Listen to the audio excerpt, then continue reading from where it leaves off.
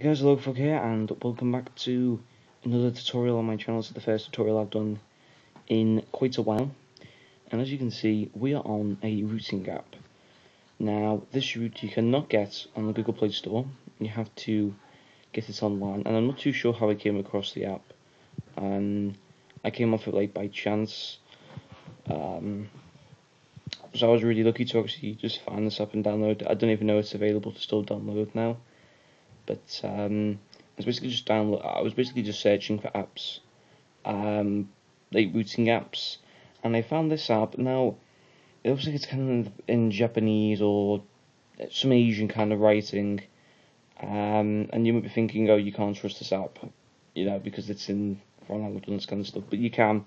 I um, managed to root my app, and plus, when you root your app, uh, super users installed now, uh, you can get Super User on Google Play, uh, but this is one that's just downloaded by the um, downloaded by the tablet. So all you have to do is just click root. Um, I've already done it, um, and then literally it will download Super User and then restart your tablet. Um, I think it restarts your tablet, yeah. And then um, you can go online. Not sorry, not go online. You can restart your tablet and go into Google Play and uh, download all apps that require permission, for example, screen recorders.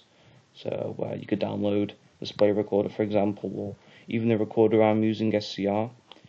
And then once you've downloaded it, um, will come up saying, do you want to allow this app to, to run or refuse the app to run? So um, you'd want to click allow, otherwise there's no point in um, rooting your tablets. And then you can record. And it's, it's, it's very clever. Um, so you can see it says B1A71 that's the the um, the name of my tablets the make basically. And um, yeah it just roots it for you. It can root any tablet um, which I think is really good. And it doesn't affect it either. Um, no apps are like automatically installed through this. It's really really good. Um, really really safe. And yeah I, I highly advise that you um, you download this app. So yeah, thanks guys for watching this video, and uh, please subscribe, like, comment. Um, if you want me to do maybe like another tutorial video on a root, then I can because I've got another one um, to show you. And um, yeah, thanks guys for watching, and I'll see you in a little bit.